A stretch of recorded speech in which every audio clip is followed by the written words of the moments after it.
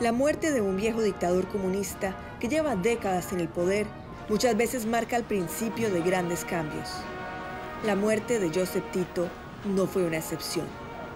Desde 1944 hasta su muerte en 1980, Tito gobernó a Yugoslavia. Yugoslavia era un país poco usual. Estaba dividido en seis repúblicas dominadas por distintos grupos étnicos y religiosos, incluyendo a los serbios, que eran ortodoxos, los croatas, que eran católicos, y los bosniacos, que eran musulmanes. Aunque las diferentes repúblicas llevaban siglos de tensiones, Tito había logrado mantener la paz gracias a su gran popularidad y a una política de unidad y fraternidad que reprimía el nacionalismo y los movimientos separatistas. Pero después de su muerte, su famosa unidad se empezó a desmoronar. Todo empezó en Serbia, la república más grande y más poderosa. Slobodan Milosevic, un político del Partido Comunista, rompió con la tradición de unidad y se aprovechó de los viejos odios de los serbios. Tanto aquí como fuera de Serbia, los enemigos de los serbios se están juntando contra nosotros y hoy les decimos, no tenemos miedo, no le tememos a la guerra. Esa retórica lo llevó a la presidencia de Serbia en 1987, de donde logró el control del ejército de toda Yugoslavia. La noticia no fue bien recibida en las otras repúblicas. Eslovenia y Macedonia se declararon independientes.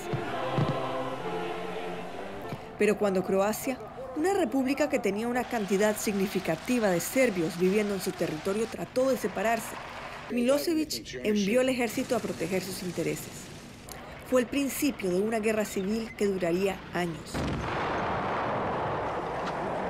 Pero el conflicto más violento ocurrió cuando Bosnia y Herzegovina también quiso separarse de Yugoslavia. Bosnia era la república más diversa. La mayoría de la población eran musulmanes bosnios, conocidos como bosniacos, pero también habían cantidades importantes de croatas y serbios.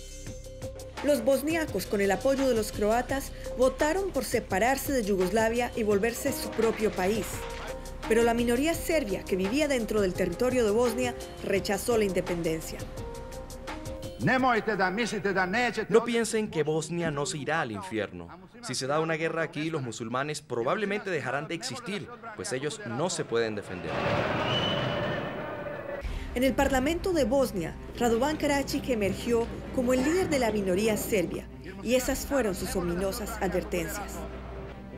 Al poco tiempo, los serbios que rechazaban la independencia de Yugoslavia formaron su propio estado dentro de Bosnia con Karadzic al mando. Su plan era unificarse con la vecina República Serbia al mando de Milosevic. Con el apoyo de Milosevic y el poderoso ejército nacional yugoslavo, el grupo de Karadzic empezó a tomarse poblaciones enteras en Bosnia, casi todas cerca de la frontera con Serbia. Donde habían musulmanes, las fuerzas serbias asesinaron a cientos de personas y obligaron al resto a escapar. Fue el principio de la llamada limpieza étnica en Bosnia, durante la cual los serbios buscaron expulsar a todos los musulmanes a la fuerza. La violencia causó un éxodo de musulmanes que huyeron hacia otras ciudades buscando amparo. Una de esas ciudades fue Srebrenica. Habían casi 30.000 personas refugiadas en la ciudad cuando llegó el ejército serbio en 1993. En vez de atacarlos directamente, el ejército rodeó la ciudad, impidiendo la entrada y salida de personas y peor aún, de comida y medicina. Al enterarse sobre las condiciones atroces en Srebrenica, un embajador de la ONU decide tomar acción. Diego Arria, entonces embajador de Venezuela en el Consejo de Seguridad, propone declarar a Srebrenica una zona bajo protección de la ONU. La resolución pasa, pero de poco sirvió. A pesar de las protestas de Arria y otros diplomáticos que visitaron la ciudad sitiada, las Naciones Unidas hizo poco por intervenir. El sitio de Srebrenica continuó, creando hambruna, desesperación y muerte.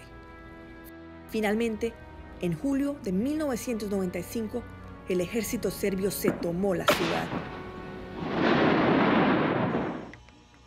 Inició un capítulo aún más oscuro de la guerra. En las siguientes semanas, miles de bosniacos fueron violados y torturados. Cuando finalmente los serbios permitieron que los refugiados salieran de la destruida ciudad, los buses salían llenos de mujeres y de niñas. Los hombres y los niños musulmanes habían sido sistemáticamente exterminados, sus cadáveres abandonados en fosas comunes. Ante esta masacre, el resto del mundo finalmente reaccionó. La OTAN, una poderosa alianza militar liderada por Estados Unidos, lanzó ataques contra las fuerzas serbias. Milosevic se vio obligado a negociar la paz y finalmente la sangrienta guerra llegó a su final. Los líderes de este genocidio han pasado las siguientes décadas enfrentándose a la justicia internacional. Milosevic murió de un ataque al corazón en el cuarto año de su juicio. Karadzic se escondió durante años, haciéndose pasar por un sanador espiritual en una clínica de medicina alternativa en Belgrado. Fue finalmente descubierto en el 2008 y tuvo que enfrentarse a un tribunal. Después de ocho años, Karadzic fue condenado a 40 años de cárcel por crímenes de lesa humanidad. La justicia llega, tarde, pero llega.